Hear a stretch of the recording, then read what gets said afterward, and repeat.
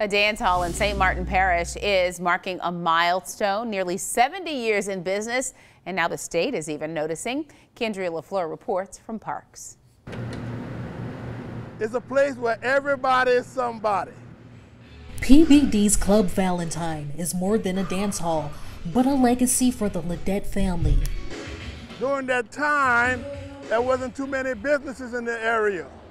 My daddy was like I said before, the building block of Promised Land community. He had the Ledette Bar, dance hall, grocery store, and even a gas station. The building has been around since 1952.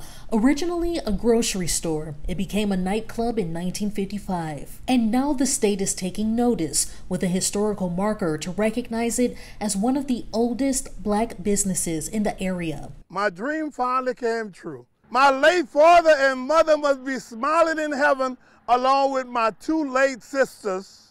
It's coming at a time that's been difficult for Ledette.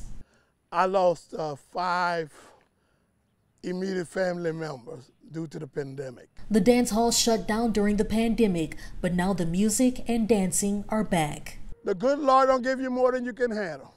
And guess what? Thank you, Lord, for making my late father and mother and my two siblings in heaven smiling right now because I am continuing the legacy of the Ledette family.